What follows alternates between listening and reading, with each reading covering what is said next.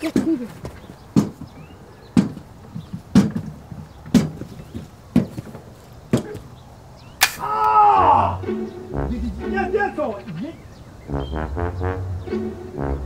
Čedo! Čedo! Ajoj, šta ti je to na čelu? Ni Nikomir rog. Oni tvoji ro- rođaci, malo mi oko ne izvi, izvi, izvi, izviše. Šta si žder, djeca se igraju, pa šta? Igraju. Idi vataj onog džeda, bolje ti je. Šta imam vata, đeda? Našao tvoju pušku, našao i patrone, ne znam, možda su napunjeni, hoće u lov! Gdje je on? Ajmo ga tomu! Pa što si mu dala po pušku? Šta sam mu dala, uzeo sam! Pa, pa, pa. E, ne, ne, ne, ne, ne, đade. Što- Što radiš to, đede? Lovim sinu čedo. Ma što šta lo- lo- loviš? Lovim zeca jednoga tamo.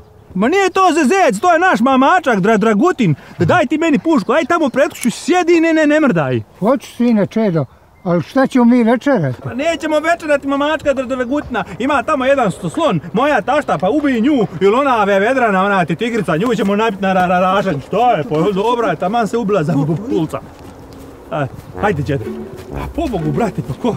Gdje popušta? šta ću? Pa što šta ću? Ajde, ajde ti kako, Kosta.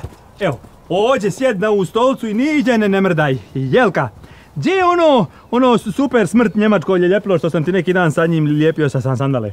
Menu tamo u vitrini u ladici, što ćete? Da, da, da zalijepim džeda za ovu stolicu, tako mi niđe neće u te, te teći. Ti uvijek zbijaš šalu kad ne treba. K- Kad ne treba. A šta misliš da ga ovom puškom koknem, tad isto niđe neće. No od- ti ćeš u zatvor ići. od-